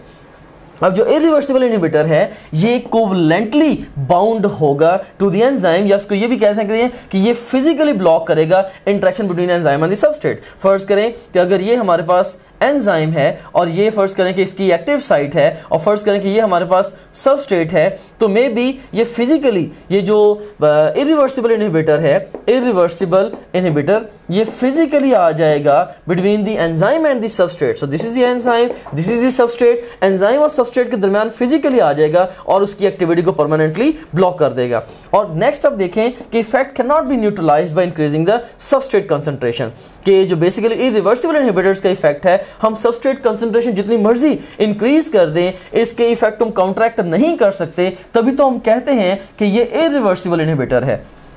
Right right? कन्वर्सली दूसरे एंड पे अगर आप देखें कि जो रिवर्सिबल इनहिबिटर है इसका वीक लिंकेज होगा विद दी एंजाइम जबकि हमने देखा था रिवर्सिबल इनहिबिटर का स्ट्रॉन्ग लिंकेज था जैसे कोवलेंट बॉन्ड बना हुआ था। वीक लिंकेज होगा और इसके बाद फिर अगर हम सबस्ट्रेट uh, की कंसनट्रेशन को इंक्रीज करें तो हम पार्शली या इवन समटाइम्स कंप्लीटली जो रिवर्सिबल इनहिबिटर है इसके इफ़ेक्ट को न्यूट्रलाइज कर सकते हैं। सो बाई डेफिनेशन जो इरिवर्सिबल इनिबिटर्स हैं ये वो इनिबिटर्स हैं जिन इनिबिटर्स के लिए अगर हम सबस्ट्रेट की कंसंट्रेशन इंक्रीज भी करें क्योंकि बाइंडिंग ही स्ट्रॉन्ग है, हम सबस्ट्रेट कंसंट्रेशन इंक्रीज करके भी हम एंजाइम एक्टिविटी को रिप्लेनिश नहीं कर सकते। जबकि रिवर्सिबल इनिबिटर के केस में अगर हम सबस्ट्रेट कंसंट्रेशन को बढ़ाएँगे somehow it will help us to displace the inhibitor from the enzyme ultimately enzyme की जो एक्टिविटी है वो रिप्लेनिश हो जाएगी। This is because the weak linkage is there और उसके बाद फिर अगर आप देखें कि जो रिवर्सिबल इनिबिटर है for further it's divided into two categories on the basis of whether it competes for the active site or not if it does compete with the active site हम इसको बोलेंगे this is comparative inhibitor नाम से ज़ाहिर है comparative will compete for the active site and अगर comparative अगर ये active site के लिए compete नहीं करेगा हम इसको बोलेंगे this is non comparative inhibitor और नाम से ही ज़ाहिर है कि non comparative would never compete for the active site right so so, इसमें अब हमने इस फ्लो शीट में डिफरेंट इनहिबिटर्स को स्टडी किया। जैसे हमने इरिवर्सिबल इनहिबिटर्स को देखा रिवर्सिबल इनहिबिटर्स को देखा और फिर रिवर्सिबल इनहिबिटर्स की हमने दो टाइप्स को देखा। एक उसमें है कंपैरेटिव और दूसरी है नॉन कंपैरेटिव हम दोबारा फिर इसको क्विकली सम अप करते हैं। इनहिबिटर्स एंजाइम के साथ रिएक्ट करेंगे प्रोडक्ट्स में कन्वर्ट नहीं होंगे और एंजाइम एक्टिविटी को ब्लॉक करेंगे। अगर परमानेंटली ब्लॉक किया तो इरिवर्सिबल इनहिबिटर क्यों इरिवर्सिबल है? क्योंकि कोवलेंटली बाउंड है और अगर वो टेम्परेली ब्लॉक ब्लॉक करेंगे तो रिवर्सिबल इनहिबिटर क्यों रिवर्सिबल इनहिबिटर है? क्योंकि वीक लिंकेज है। और रिवर्सिबल इनहिबिटर को फर्दर हमने दो कैटेगरीज में डिवाइड किया है on the basis of whether it competes for the active site और नॉट अगर एक्टिव साइट के लिए कंपीट करेगा तो कंपेरेटिव है, अगर नहीं करेगा तो नॉन कंपेरेटिव है। इसमें आप देखें कि इससे हमें यह भी पता चलता है कि जो कि जो इरिवर्सिबल इनहिबिटर है, ये एंजाइम के ग्लोबुलर पोर्शन ग्लोबुलर पोर्शन पे जाके भी बाइंड कर सकता है और उसकी एक्टिव साइट पे भी बाइंड कर सकता है। एक्टिव साइट पे भी बाइंड कर सकता है। सो so, इसके लिए कोई लिमिटेशन नहीं है कि रिवर्सिबल इनहिबिटर कहाँ पे जाता है। सो so, ये ग्लोबुलर पोर्शन पे बाइंड करके उसकी ओवरऑल उसको डिस्टॉर्ट करे और उससे एक्टिव साइट की शेप को डिस्टॉर्ट करे, या ये डायरेक्ट जाके एक्टिव साइट पे बाइंड करके उसकी शेप को डिस्टॉर्ट कर दे। So reversible inhibitor can do any of this लेकिन उसके मुकाबले में जो कंपेटिटिव इनहिबिटर है, जो कि रिवर्सिबल इनहिबिटर की आगे एक सब कैटेगरी है। कंपेटिटिव इनहिबिटर ये हमेशा ये एक्टिव साइट पे ही जाएगा। It will always go to the active site ठीक है? और उसके मुकाबले में जो नॉन कंपेटिटिव इनहिबिटर है, नाम से ज़ाहिर है it would never compete for the active site so ये, अब ये कह लें कि it will never go to active site never go to active site so अगर एग्ज़ाम आपसे क्वेश्चन ये पूछता है कि डिफरेंट कैटेगरीज दे के like A option is A reversible inhibitor B is reversible inhibitor C is comparative D is non comparative which one will always go to the active site comparative which will never go to active site वो that is non comparative which may और may not go to active side again वो reversible irreversible दोनों हो सकते हैं कि reversible overall reversible जो है एज अ होल ये एक्टिव साइड पे जा भी सकते हैं और नहीं भी जा सकते। इरिवर्सिबल भी अगेन एक्टिव साइड पे जा भी सकते हैं और नहीं भी जा सकते। या अगर आपसे ये पूछी जाए कि इनमें से कौन सा ऐसा है जो कि ग्लोबल पोर्शन एंड और एक्टिव साइड के साथ बाइंड कर सकता है तो again answer would be irreversible inhibitor most probably या इवन किसी खास सेंस में रिवर्सिबल इनिवेटर भी आंसर हो सकता है। बहरहाल वो रेयर सिनेरियो है स्ट्रेट वेज आपको ये जो क्लियर डेफिनेशन है रिवर्सिबल इनवर्टर की रिवर्सिबल इनवर्टर की कंपेरेटिव और नॉन कंपेरेटिव इनवर्टर की इनको क्लियरली uh, माइंड में uh, रखना है। You will be able to answer questions by using this flow sheet very easily on your final exam inshallah. And यहाँ पे आप देखें एक हमारे पास कंप्यूटराइज फोटोग्राफ है। इसमें आप देख सकते हैं कि हमारे पास ये एक एंजाइम है सक्सिनिक डिहाइड्रोजनेज ये क्रैब साइकिल का एक एंजाइम है। और इसका जो नेचुरल सबस्ट्रेट है वो सक्सिनिक एसिड है। नेचुरल सब्सटेट, इसका सक्सिनिक एसिड है। और अल्टीमेटली जब सक्सिनिक एसिड सक्सिनेट या सक्सिनिक डिहाइड्रोजनेस ये इसको, इस इस सबस्ट्रेट को जब ये प्रोसेस करेगा तो इससे जो हमारे पास प्रोडक्ट आएगी that is the fumaric acid ये तो है रिएक्शन जो रूटीनली चल रहा है क्रैप साइकिल का ये एक रिएक्शन है। अब इसमें आप देखें कि एक एक कंपाउंड है एक named as the malonic acid अब मेलोनिक एसिड जो है ये बेसिकली आप कह लें कि कंपेरेटिव इनहिबिटर है ये इसका सक्सिनिक डिहाइड्रोजनेज एंजाइम का। और ये कंपैरेटिव इनहिबिटर क्यों है? ऑफ़ कोर्स जो भी कंपैरेटिव इनहिबिटर होगा जो भी सबस्ट्रेट के साथ कंपीट करेगा for binding to the active side वो उसका स्ट्रक्चर एनालॉग होगा। सो so, हम ये जनरली हम ये भी कह सकते हैं कि generally speaking the comparative inhibitors comparative inhibitors are actually the uh, structural analogs structural analogs and analogs of comparative inhibitors. Uh, of the uh, of the uh, the uh, comparative inhibitors structural analogs of the substrates you can say. Of the substrates ठीक है तो इसमें आप देखें कि जैसे जो malonic acid है, ये चूँकि ये इसका सक्सेनिक एसिड का स्ट्रक्चरल एनालॉग है स्ट्रक्चरली उससे ये मिलता जुलता है, इसीलिए it can compete for the for the active site of the enzyme succinate dehydrogenase right और सो मेलोनिक एसिड इसका फिर क्या हुआ? ये कंपेरेटिव इनिबिटर है ऑफकोर्स जब ये कंपेरेटिव इनिबिटर आके बाइंड कर गया तो फिर एंजाइम जो है वो ब्लॉक हो जाएगा। हाँ ये अलग बात है कि अगर हम सक्सिनिक एसिड की कंसनट्रेशन को रिमार्केबली इंक्रीज करेंगे तो चूँकि ये कंपेरेटिव इनहिबिटर रिवर्सिबल होता है, ये रिवर्सिबल इनहिबिटर की एक सब कैटेगरी है तो इसीलिए एंजाइम या सबस्ट्रेट कंसंट्रेशन इंक्रीज करने से एंजाइम एक्टिविटी दोबारा रिप्लेनिश हो सकती है।